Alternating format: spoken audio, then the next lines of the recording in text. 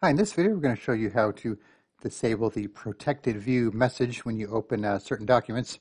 So you'll get the protected view message if you open a file like a Word document, Excel file, that kind of thing, that you've downloaded from the internet, or it could be something that you've uh, opened from an Excel attachment, that kind of thing.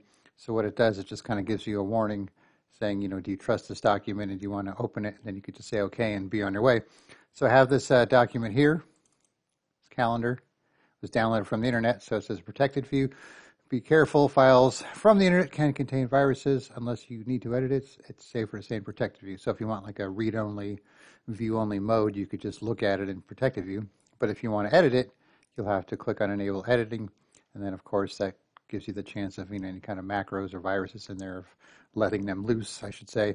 But if you um, always trust your documents, you're always getting them from trusted sources, and you're sick of having to say okay to this, or you know, you click in there and you realize you can't edit because it's locked, you could just turn off this feature altogether. So to do this, so first of all, if I were to close this, reopen it, it would stay, you know, with this message. But once you click enable edit, then the next time you open it, it'll be gone. It's not going to keep popping up every time. So to change the setting, you can go to File, into your options, then you want to find the Trust Center, and then Trust Center Settings, and then you want to find the Protected View section here. So there's three boxes here to enable it from files originating from the internet, which is what this one was. Uh, unsafe locations, and if you hover over it, it'll kind of tell you, you know, temporary internet files, that kind of thing. If so, if, if you open a file from there, it'll give you the same protected view message, and then Outlook. So you could deselect whichever ones you want, or you could deselect them all if you, you know, feel safe. So let's say um, I trust anything I downloaded from the internet, but these two I will leave uh, enabled. So I click OK, click OK.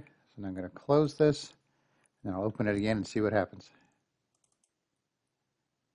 So now that message is gone, so now I could start editing right away. So once again, open up uh, Word, Excel, whatever, go to your options from the File menu, Trust Center, Trust Center Settings, protected view and then deselect whichever ones you want or all of them and click OK and then you won't be uh, bothered with that message anymore.